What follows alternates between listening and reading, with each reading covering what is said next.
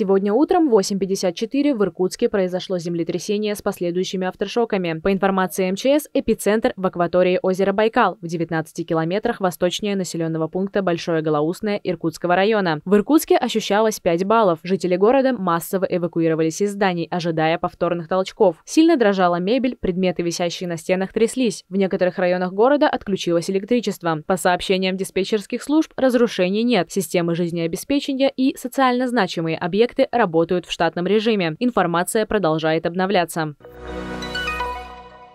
Военный комиссар Иркутской области и заместитель министра социального развития, опеки и попечительства региона ответили на самые волнующие вопросы о мобилизации. В ходе прямого эфира они рассказали о выплатах, которые полагаются мобилизованным. Это был самый популярный вопрос. По их информации, практически всем уже перечислили средства в 22 финансовые организации. Есть доработки по реквизитам некоторых мобилизованных. Эти проблемы решают. Спрашивали и о сроках перечисления заработной платы. Приказы о начислении денежного довольствия будут издавать в период с 10 по 20 число каждого месяца. Также поступило много вопросов от женщин насчет алиментов. Эксперты сообщили, что сейчас судебные приставы работают, чтобы выявить всех мобилизованных, у которых есть такие обязательства. Нужные суммы будут высчитываться из денежного довольствия.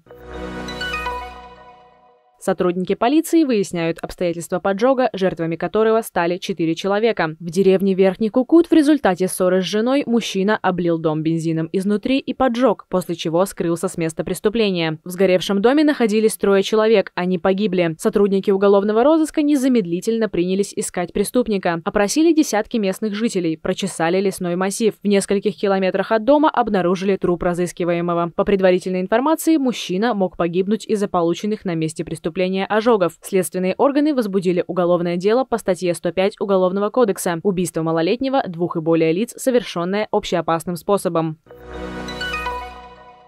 В гаражном кооперативе «Братска» не могут поделить территорию. На дороге, ведущей к гаражам, появился большой контейнер и перекрыл проезд. Не полностью, однако большая машина проехать здесь уже не сможет. На двух улицах чуть больше 40 гаражей. Каждая из них выходила на дорогу общего пользования. Недавно один из проездов перекрыли магазином. Владельцы боксов стали возмущаться и предъявили претензии хозяйке нового строения. Она отказалась от комментариев, подчеркнув, что сейчас идет судебное разбирательство. Уберут ли неудобный контейнер, решит суд. Заседание Заседание состоится в конце октября. Пытались договориться, с ней писали письма, ответов не было ни одного письма. Составили документы, подали в суд на установление сервитута. После первого заседания, то, что она вот прошло, прошло, она не явилась, она сразу следом на следующий день, получается, установила контейнер, закрыла нам вообще проезд.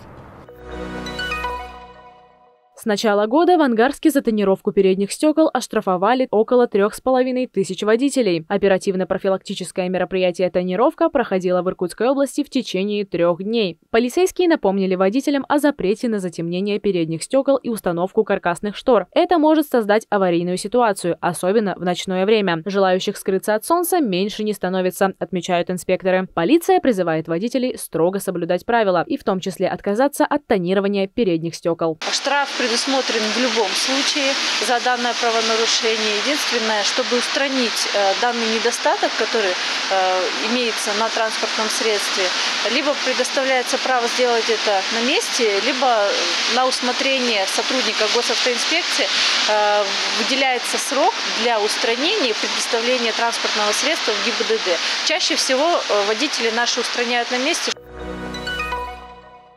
Усольчанка победила на международных летних паралимпийских играх. Они прошли со 2 по 9 октября в Сочи. На больших состязаниях выступили более тысячи участников из 11 регионов страны. Всего иркутяне привезли 9 медалей соревнований. Усольчанка Светлана Виноградова, мастер спорта России, выступила в категории лиц с поражением опорно-двигательного аппарата в дисциплинах легкой атлетики. Золотую медаль она завоевала в соревнованиях по метанию копья, а потом получила еще и серебро за турнир по толканию ядра. Спортсменка подчеркнула, что нельзя зацикливаться зацикливаться на своих болезнях, нужно двигаться дальше, ведь это не приговор. Мечтает она о том, чтобы теперь принять участие в чемпионате мира.